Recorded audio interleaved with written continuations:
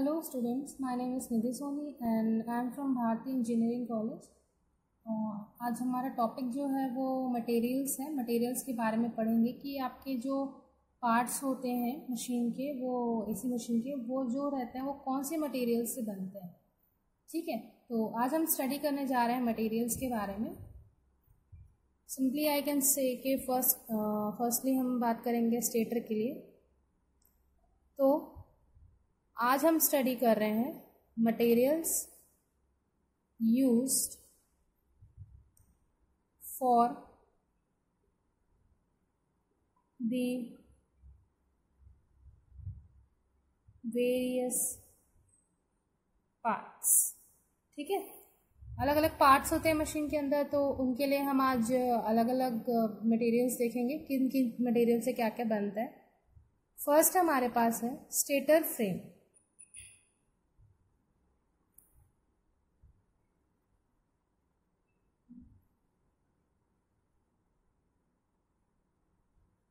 Stator frame है। इसमें क्या होता है एसी मशीन का जो फ्रेम होता है वो um, क्या बोल सकते हैं एक तो डाई कास्ट बोल सकते हैं या फैब्रिकेटेड स्टील बोल सकते हैं। इन दोनों में से किसी एक से ही बना रहता है। ठीक है?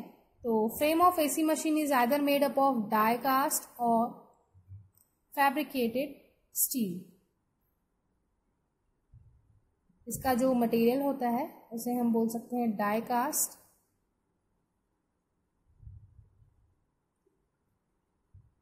made of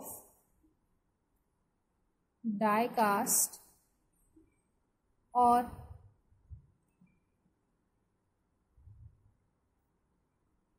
fabricated steel ठीक है? तो ये हो गया हमारा स्टेटर का फ्रेम um, इसका जो डाई होता है उसे हम बोल सकते हैं it is a specialise tool die को हम समझ सकते हैं। It is a specialise tool use in use in industries to cut और शेप मटेरियल्स इसका मतलब होता है डाई का मतलब होता है आ, ऐसा एक टूल जो कि क्या करता है आपका? आ, किसी भी मटेरियल्स को काटने या फिर शेप देने के काम आता है ठीक है? यहाँ बोल सकते हो tools used in industries to cut and shape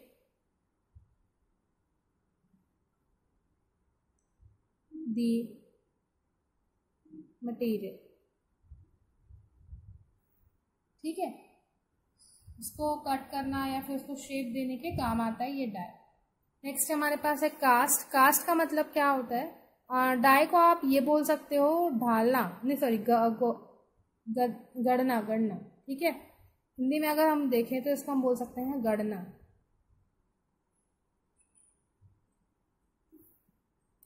next यहाँ पे आते हैं कास्ट के बारे में। कास्ट का मतलब होता है ढालना, ठीक है? तो आप बोल सकते हो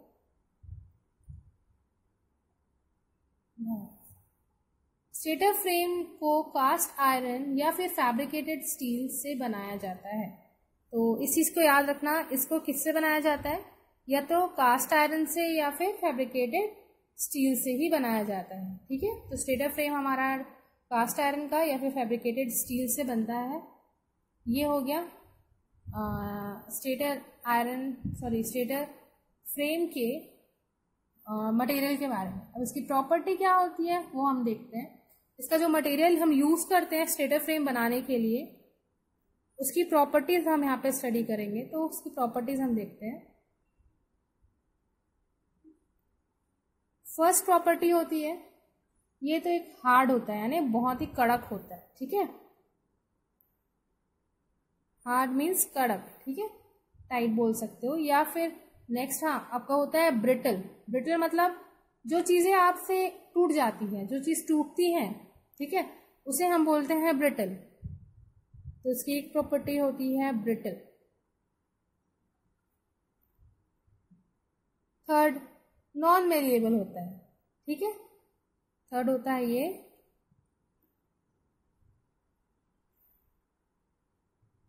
मेलिएबल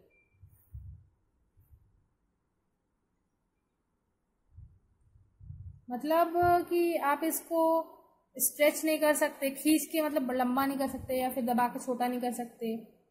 या हैमर से मारोगे तो वो बहुत जल्दी चिपटेगा नहीं सो शेप में इतने इतने सारे चेंजेस नहीं आएँगे। चेंजेस नहीं आएँगे बट आप हैमर कर सकते हो, ऐसा नहीं है। थोड़े से उसको मार के उसका शेप थोड़ा बहुत बदल सकते ठीक है? तो ये आ गए हमारे इसमें प्रॉपर्टीज़ में। ये हो गया हमारा स्टेटर फ्रेम अब स्टडी करते हैं। अब सेकेंड मटेरियल देखते हैं हम किसका? स्टेटर कोर तो हमारा स्टेटर कोर जो मैंने बताया था ब्लेड या पत्तियों टाइप रहता है जिसको हम मिला के एक पूरा आ, मतलब जो पत्तियाँ रहती है उसको मिला के हम एक कोर बनाते हैं। तो उसके बारे में हम यहाँ पे देखेंगे। ओके स्टूडेंट्स तो यहाँ पे अभी हम देखते हैं state ah, stator core stator core को हम किससे बनाते हैं? सिलिकॉन स्टील से ठीक है? ये जो कोर होता है, ये हमारा किससे बनता है? It is made up of silicon steel silicon steel से बनता है, या फिर बनाया जाता है इसे। इसके कारण क्या होता है? आपका हिस्टेरिसिस लॉस को ये कम कर देता है, ठीक है? इसको यूज़ करने से कुछ फ़ायदा होता है। वो फ़ायदा हमारा होता है कि हिस्टेरिसिस लॉस reduced. इसके वजह से हिस्टेरिसिस लॉस कम होता है, ठीक है? तो इसमें जो हम सिलिकॉन स्टील यूज़ करते हैं, उसकी प्रॉपर्टीज़ जो होती हैं, इसकी प्रॉपर्टीज़ में आता है पहला हाई परमेबिलिटी, ठीक है? फर्स्टली इसकी प्रॉपर्टी होती है हाई परमेबिलिटी। सेकेंड होता है कि इसमें, वही मैंने अभी एक प्रॉपर्टी आपको बताया स्टेरिसिस लॉस जो होता है उसका एरिया मतलब स्टेरिसिस एरिया लूप होता है और इसमें क्या होता है कि स्मॉल एनर्जी डेसिपेशन होता है। ठीक है? तो ये हो गया स्मॉल एनर्जी डेसिपेशन ठीक है? स्मॉल एनर्जी डेसिपेशन उसके बाद लास्ट होता है लो कोर लॉस इसमें कोर लॉस कम होता है. Because hysteresis loss is reduced there is low core loss hysteresis loss reduce होता है, इसलिए इसमें कोर लॉस कम होता है. ठीक है? इसकी प्रॉपर्टीज़ अभी हमने देखी. अब नेक्स्ट पार्ट हम देखते हैं वाइंडिंग्स का. थर्ड जो हमारा पार्ट है, वो है वाइंडिंग का. वाइंडिंग किस चीज़ से बनी होती है, वो हम देखते हैं यहाँ पे उसका मटेरियल वाइंडिंग मटेरियल के रूप में कॉपर या एल्यूमिनियम का यूज़ किया जाता है, ठीक है? मतलब जो वाइंडिंग्स होती है, या तो वो कॉपर से होती हैं,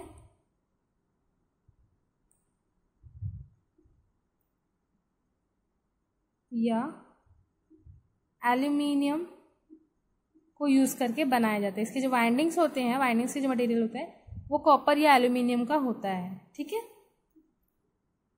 नेक्स्ट आते हैं हम यहाँ पे। फोर्थ हमारा है शाफ्ट शाफ्ट में क्या होता है स्टूडेंट्स मैंने बताया था जो हमारे पास स्टेटर होता है स्टेटर के यहाँ पे वो रहता है स्लॉट हम्म, सेंटर में रोटर होता है उस रोटर के सेंटर में एक शाफ्ट होता है।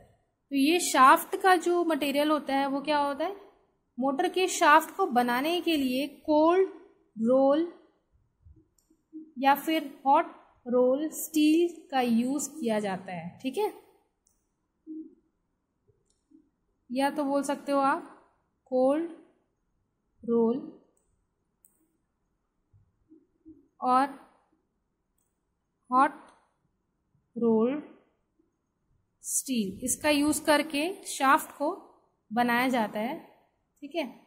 इसकी प्रॉपर्टी जो होती है, वो मैं आपको बता सकती हूँ कि जो कोल्ड रोल्ड स्टील या फिर हॉट रोल्ड स्टील जो होती है, उसकी प्रॉपर्टीज़ होती है। इसकी प्रॉपर्टीज़ में फ़र्स्ट पॉइंट आता है कि ये स्ट्रॉन्ग होता है। ठीक है, बहुत ही स्ट्रॉन्ग स्टील होता है और हार्ड होता है। हार्ड भी बोल सकते हो आप इसको। हार्ड यानी कठोर बोल सकते हो। और बहुत अच्छा इसका, ये रेजिस्टेंस वेयर करते हैं। ठीक है? वेयर रेजिस्टेंस ये इसकी प्रॉपर्टीज़ हो गई. नेक्स्ट हमारा पास पॉइंट जो आता है फिफ्थ पॉइंट वो हो गया हमारा बेयरिंग मैंने आपको बियरिंग के बारे में भी बताया बियरिंग क्या होता है? तो बियरिंग का क्या मटेरियल होता है? उसको हम समझा सकते हैं रोलर बियरिंग या फिर बॉल बियरिंग का यूज़ एसी मशीन में किया जाता है, ठीक है?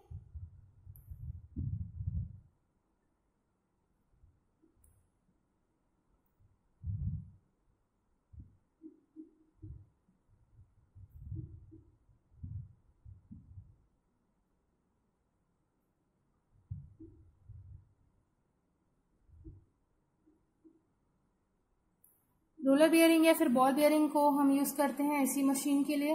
रोलर बियरिंग जो होता है, बहुत हाई लोड बियरिंग कैपेसिटी का होता है, ठीक है? तो हमारे पास जो ये रोलर बियरिंग है, ये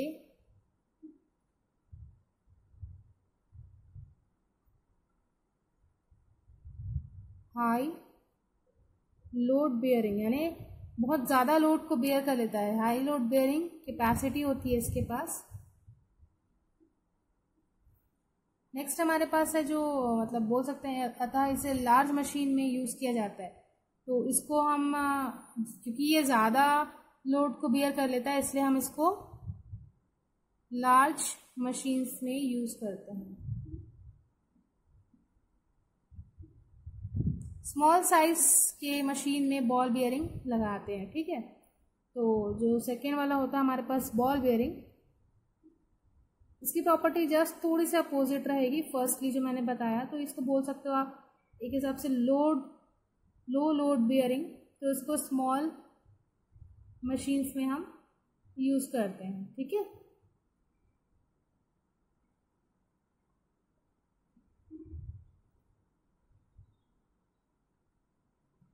नेक्स्ट हम आते हैं रो, रोटर कोर में। सिक्स हमारे पास है रोटर कोर अब हमारे पास जो स्टेटर कोर पड़े थे, वैसे ही रोटर कोर भी होता है। पर ये रोटर कोर किससे बना होता है? इसमें लैमिनेटेड स्टील होते हैं। ठीक है? इसमें लैमिनेटेड स्टील का यूज़ किया जाता है रोटर को बनाने के लिए। ठीक है? तो इसे हम बोल सकते हैं, किससे बनता है ये? Laminated steel silicon steel as same steel okay students तो ये हो गया हमारा रोटर कोर के बारे में। मैंने इसमें जो जो मटेरियल्स यूज़ होते हैं हमारे जो जो पार्ट्स होते हैं उसको बनाने के लिए उसको मैंने अभी आपको समझाया। नेक्स्ट uh, जो लास्ट पॉइंट है इसमें हमको वाइंडिंग्स के बारे में देखा हमने कि वाइंडिंग्स दो तरीके से लगता है। एक तो आपके स्टेटर में भी होता है ठीक है एक स्टेटर वाइंडिंग होती है और सेकेंड होता है आपका रोटर वाइंडिंग। तो दो तरीके से वाइंडिंग होती है आपके मशीन के अंदर। आप कभी उसको ऐसे ओपन करके देखेंगे तो आपको शो होगा। ऐसे मैं आपको दिखा देती हूँ ये चीज़। ठीक है तो ये इसके बारे में हम आते हैं नेक्स्ट क्लास में। ये देख सकते हो आप ये जो फ्रेम बना हुआ है, ठीक है? ये कास्टिंग है। कास्टिंग अल्टरनेटर स्टेटर ओके, इसे पास देख सकते हो। जैसे अभी आपको बताया कि जो स्टेटर होता है वो किससे बनता है? कास्ट, आयरन या फिर फैब्रिकेटेड स्टील से बनता है। ठीक है, उसके सेंटर में क्या होता है आपका? रोटर होता है। ये एक और स्टेटर का पार्ट है फ्रंट की वजह से आप देख सकते हैं। ठीक है तो ये मटेरियल्स यूज़ होते हैं स्टेटर का फ्रेम बनाने में। ये आता है फ्रेंड्स आपके फैब्रिकेटेड आप बोलना कि फैब्रिकेटेड स्टेटर फ्रेम में बोलोगे तो ये आता है जो पहले मैंने दिखाया वो आपका कास्ट आयरन का था ये फैब्रिकेटेड के अंदर आता है। ये देख सकते हो आप ये है आ, मैंने बताया आपको स्टेटर कोर जो है वो सिलिकॉन स्टील से बनता है तो ये हमारा सिलिकॉन स्टील है जिससे आपका स्टेटर का कोर बनाया गया है। ठीक है अभी नेक्स्ट देखते हैं। ये आप देख सकते हैं जैसे कि ये रोटर का कोर है जो सिलिकॉन स्टील से बना हुआ है। ठीक है, इसके पहले जो हमने देखा वो आपका सिलिकॉन स्टील से कोर बना था स्टेटर के लिए, बट ये किसके लिए है? रोटर के लिए। ठीक है तो ये हो गया हमारा सिलिकॉन स्टील से बना हुआ रोटर और स्टेटर का कोर। नेक्स्ट हम आते हैं वाइंडिंग। वाइंडिंग हमारा किससे बनता है? वो हम चेक ये देख सकते हो आप वाइंडिंग। ठीक है ये आपने वाइंडिंग हमेशा देखा होगा, किसी भी आप उसको ओपन करो प्रैक्टिकली तो ट्रांसफार्मर के छोटा सा जो रहता है उसको ओपन करके देखोगे। इसमें जो वाइंडिंग्स लगी होती है, या तो कॉपर की होती है, या तो एल्यूमिनियम की होती है, ठीक है? तो इस तरह से आपकी वाइंडिंग्स लिखती हैं। मशीन्स में ऐसे कैसे यूज़ करते हैं, वो मैं आपको अभी दिखाती हूँ। यहाँ पे आप देख सकते हो, ठीक है? रोटर का जो वाइंडिंग है आपका